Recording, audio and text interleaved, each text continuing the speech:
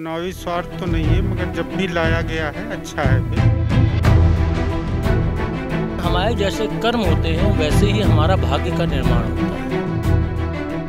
उत्तर प्रदेश में जनसंख्या नियंत्रण बिल को लेकर तमाम राजनीतिक पार्टियों के नेता अपनी अपनी प्रतिक्रिया ज़ाहिर कर रहे हैं। इसी बीच बसपा सुप्रीमो मायावती ने उत्तर प्रदेश सरकार की नीति और नियतों पर सवाल खड़े कर दिए हैं, क्योंकि उनका कहना है कि जब उत्तर प्रदेश में विधानसभा चुनाव को कुछ ही महीने बाकी रह गए हैं, आखिर तभी क्यों जनसंख्या नियंत्रण पर इतना ध्यान दिया जा रहा है? पहले जब प्रदेश में योगी आदित्यनाथ की सरकार बनी थी तब क्यों नहीं ये जो बिल है उसको लाया गया? और इसको मायावती के हिसाब से वो इसे एक चुनावी स्वार्थ के रूप में देख रही हैं। वहीं दूसरी तरफ़ सपा सांसद शफीकुर रहमान, बर्ग का कहना है कि ऊपर वाला तो रूह पहले से ही बना देता है तो कोई भी बिल या कानून उसे धरती पर आने से नहीं रोक सकता। फ़िलहाल ये तो जो राजनीतिक लोग हैं जो नेता लोग हैं उनकी प्रतिक्रिया हो गई। अब इसी पर हम चलेंगे और जनता की प्रतिक्रिया जानेंगे कि वो जो इन दोनों की प्रतिक्रिया है उस पर उनका क्या कहना है वो इस पर क्या सोचते हैं? के बारे में मेरी यही विचार है कि जो मोदी सरकार नियम बना रही है दो से दो अधिक नहीं होना चाहिए। दो ही बच्चे जिनको उन्हीं को सुविधाएँ प्रदान करें जिससे जनसंख्या कंट्रोल हो जाए। जनसंख्या बढ़ना भी बहुत बड़ा गरीबी का कारण बनेगा देश के हित में अच्छा नहीं है। देखिए प्रदेश के लिए ज़रूरत है। जनसंख्या बढ़ना कुछ मामले में अच्छी भी बात है कुछ मामले में बुरी बात है। पेरेंट्स कितने हैं ये परेशान है।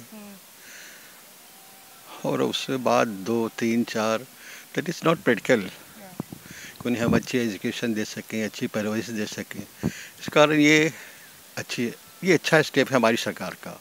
ये कंट्रोल ये समाज के लिए अच्छा है, सबके लिए अच्छा है, चाइना से लेके सबने अडॉप्ट किया है और जो अच्छी चीज़ें हों, उनको अडॉप्ट करना चाहिए, ना कि उसके बारे में कोई भी अपने धर्मों को ला करके उसमें थोपना चाहिए। चुनावी स्वार्थ तो नहीं है, मगर जब भी लाया गया है अच्छा है बिल, और हमारे देश के लिए बहुत ही अच्छा है, और इसमें ऐसा तो कुछ लगता नहीं है कि स्वार्थ है। मैम ऐसा है कि पॉलिटिकल हो या फिर जो भी हो किसी भी कारण से अगर बिल लाया जा रहा है लेकिन ये बिल बहुत अच्छा है। जनसंख्या नियंत्रण बिल इसलिए लाया गया है क्योंकि 2022 में चुनाव होना है। और क्या? लड़कन की सर्विस देखिए लग गई है ज्वाइनिंग नहीं दे रहा। गलत ही तो हो रहा है। मतलब एक सपा सांसद है शफीकुर रहमान उनका कहना है कि भगवान ने जितनी रूहें बना दी हैं उसको तो आना ही आना है कोई बिल उसको धरती पर आने से नहीं रोक सकता। तो इसको क्या कहेंगे आप? देखिए, ये बहुत, मैं कहूँगा ये बहुत इलॉजिकल बात है।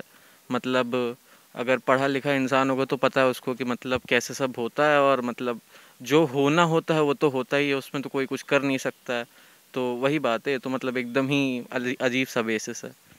तो जैसा कि आपने देखा, हमारी तमाम लोगों से बात हुई। ज़्यादातर लोगों का कहना यही है कि देश हित राज्य हित में जो भी निर्णय लिया गया, भले ही वो चुनावी स्वार्थ है, वो बिल्कुल होना चाहिए, क्योंकि जनसंख्या नियंत्रण, जनसंख्या पे नियंत्रण पाना बेहद ज़रूरी हो गया था, क्योंकि जिस तरीके से उत्तर प्रदेश में जनसंख्या बढ़ती जा रही थी, उस पर रोक लगाना काफ़ी ज़्यादा ज़रूरी था।